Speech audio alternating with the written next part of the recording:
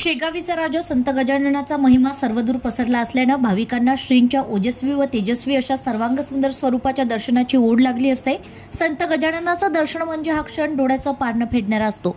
म्हणूनच गजाननाच्या चरणी नतमस्तक होऊन दर्शन घेण्यासाठी भाविकांची श्रीक्षेत्र शेगाव नगरी येथे मांदियाळी दिसून येते.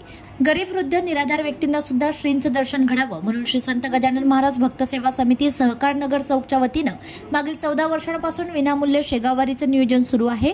सहकार नगर चौकात गाडीचं पूजन करून यावर्षीची सातवी फेरी गजानन भक्तांना घेऊन शेगाव माऊलीच्या दर्शनासाठी रवाना झाली आहे. दरम्यान इरविन चौक स्थित संत गजानन महाराज मंदिर येथे श्रींची विधिवत आरती करण्यात आली आहे. यावेळी समितीचे अरुण निंबाळकर मनोज डवरे आनंद वालकडे अविनाश पारडे रजनीताई कराळे वर्षा निंबाळकर मालती देशमुख आदींसह समितीचे पदाधिकारी व भक्त मंडळींची यावेळी उपस्थिती होती.